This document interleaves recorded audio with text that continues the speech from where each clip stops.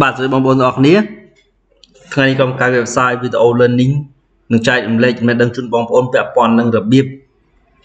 ប្រកាសពន្ធលើប្រាក់ចំណូលប្រចាំឆ្នាំបាទអញ្ចឹងដើម្បីអាចកណនាពន្ធលើប្រាក់ចំណេញបានតម្រូវយើងចេះធាតុមួយមួយបាទនៅក្នុងឯកសារប្រកាសពន្ធហើយមុនមុនគឺក្រុមការងារ website video learning បានចែករំលែកនៃការបំពេញរួចទៅហើយហើយក្នុងថ្ងៃនេះគឺយើងនឹងបញ្យល់បងប្អូនពាក់ព័ន្ធនឹង អ្វីឲ្យឈ្មោះតាចំណាយផ្សេងផ្សេងបាទអញ្ចឹងចំណាយផ្សេងផ្សេងរបស់យើងគឺនៅក្នុង B លេខ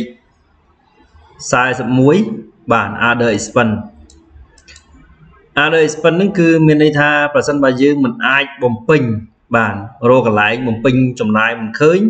យើងដាក់ចូលនៅក្នុង B លេខ41មានន័យខ្លីបែបហ្នឹងប៉ុន្តែដើម្បីអាចដឹងថាតើចំណាយណាខ្លះដែលយើងចាត់ទុកថាជាចំណាយផ្សេងផ្សេង ដូច្នេះយើងត្រូវមើលនឹងឯកសារប្រកាសពន្ធរបស់យើងឯកសារប្រកាសពន្ធយើងចាប់ដើមពីចំណាយបាទនេះគឺ total expense របស់យើងទៅលើ operating expense operating expense របស់យើងមានដូចជាចំណាយទៅលើប្រាក់បៀវត្សចំណាយទឹកភ្លើងបាទចំណាយទៅលើការធ្វើដំណើរចំណាយទៅលើការដឹកជញ្ជូនចំណាយទៅលើការជួលចំណាយទៅលើថែទាំចំណាយកំសាន្តកម្រៃជើងផ្សារបងពុនអកចំណាយទៅលើអឺ អំណោយបាទសេវាគ្រប់គ្រងសួយសារបំណុលទីអត់បាន ចំណាយទៅលើរំលោះ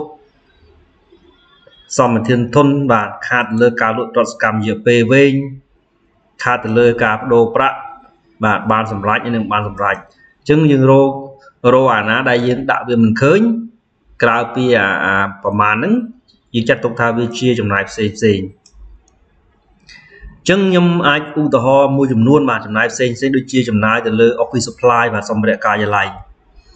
ចឹងសម្ភារៈការិយាល័យវាអត់មានកន្លែងដាក់ទេយើងដាក់ចូលនៅក្នុង B លេខ41បាទទី1ទី2ទៅតងទៅលើចំណាយទៅលើអ៊ីនធឺណិតបាទ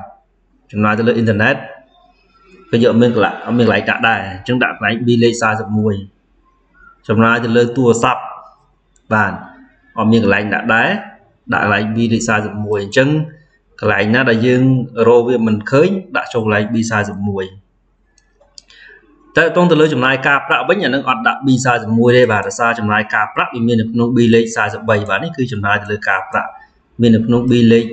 44អញ្ចឹងនេះគឺជាការសង្ខេបខ្លីបើសិនបើលោកអ្នកមានចម្ងល់កន្លែងណាមួយអាច comment ក្រោមបានបាទក្រុមការងារ website video learning នឹងជួយឆ្លើយ បាទហើយចុងក្រោយអរគុណសម្រាប់លោកអ្នកដែលតាមដានរហូតដល់ចប់បាទ